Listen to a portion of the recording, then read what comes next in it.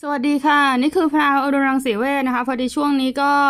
มีโควิดระบาดใช่ไหมแล้วก็จะแบบว่าร้านที่เราเคยเปลี่ยนแบตตามตลาดเขาก็จะปิดไป แล้วก็เลยจะ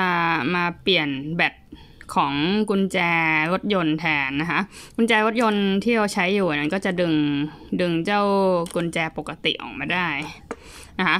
พอดีอันนี้งัดไว้แล้ว แต่ตอนที่ใช้ตอนที่งัดเนี่ยใช้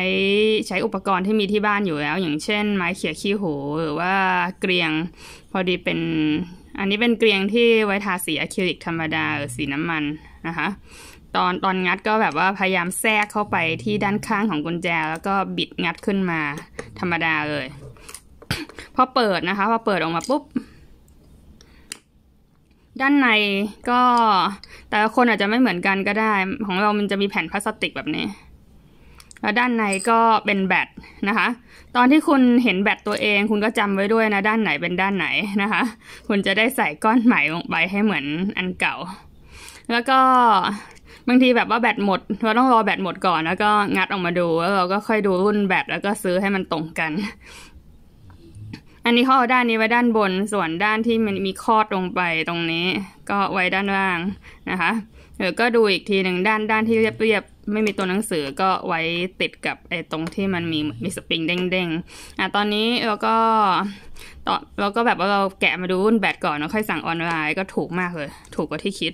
นะคะ อันนี้เป็นแผงหนึ่งมีห้าก้อน เปิดออกมา แล้วก็วางในด้านเดิม ใส่เข้าไป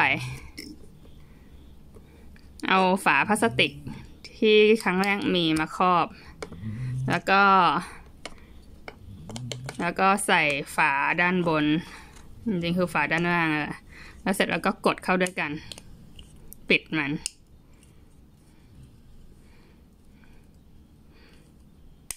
โอเค ดังแก๊กละ ปิดเข้าไปสนิทอะอ่าด้านนี้ยังปิดอีก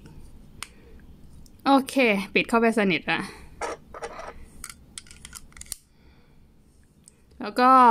ลองกดใช้กับรถของเราดูว่าเวิร์กไหม